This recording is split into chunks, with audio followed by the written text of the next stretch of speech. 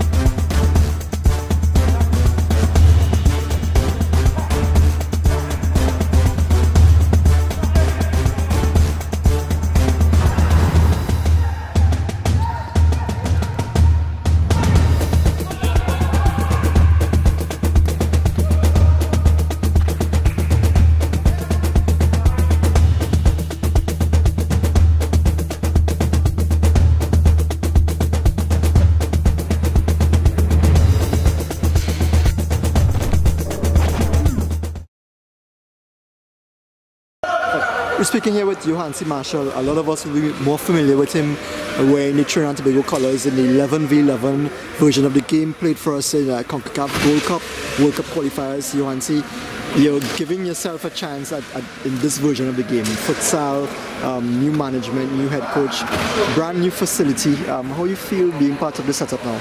Um, it's always nice to come back in the, the national setup, you know, um, especially after COVID. There's there has been nothing going on. So it's just a chance for myself and other players to stretch their legs and get back into things.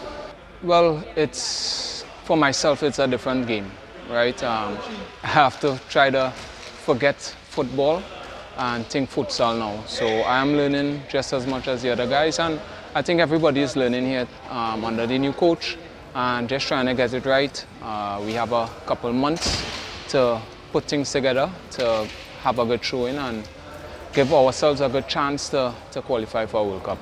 Uh, it's four games away from qualifying for a World Cup. We haven't qualified for a World Cup for a World Cup in quite some time, so um, definitely is something exciting and something for the nation to be excited about. We thank them. Uh, it is definitely something that we needed. Uh, it will be a little easier on the body and definitely something for us to prepare uh, visually what we are going to get. Uh, this is something similar to how the field is going to be, uh, how the arena is going to be, so um, it's definitely preparation for the, the next step going forward.